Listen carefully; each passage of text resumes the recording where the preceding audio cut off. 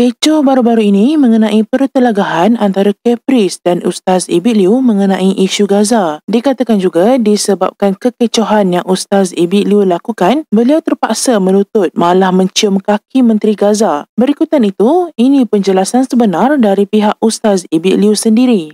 Ah, pasal melutut. Pasal melutut. Pasal melutut tu, saya dah bersumpah tau tak? Saya dah tanya Ustaz Ibit sendiri, sumpah demi Allah, wallahi, yang saya tak nampak pun Ustaz Abid buat demikian. Saya tak pernah nampak pun dengan nama Allah. Saya tak pernah nampak, tak pernah dengar pun Ustaz Abid melutut, Ustaz Abid cium kaki menteri uh, Gaza. Macam uh, Kepri cakap. Saya macam, saya takut saya terlepas pandai. Saya tanya Ustaz Abid sendiri. Saya whatsapp Ustaz Abid. Saya tanya Ustaz, betul ke yang uh, Kepri cakap ni? Kepri kata Ustaz melutut dekat uh, menteri Gaza. Dan, dan boleh tengok sendiri bukti yang Ustaz Abid whatsapp kan tak ada. Dan takkan, takkan buat macam tu. Ustaz Abi takkanlah buat macam tu. Saya tahulah Ustaz Abi macam mana. Lagi satu kan, bukti kukuh kan.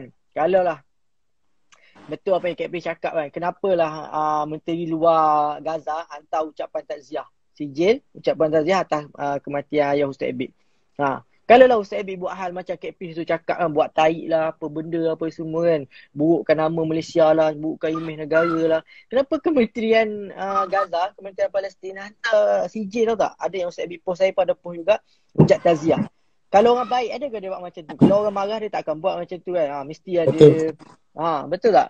Kak Pis cakap betul, lagi betul. yang apa uh, apa kerajaan mesti tak bagi Ustaz Abid keluar apa semua. Tapi elok dia dapat keluar apa semua. Ha,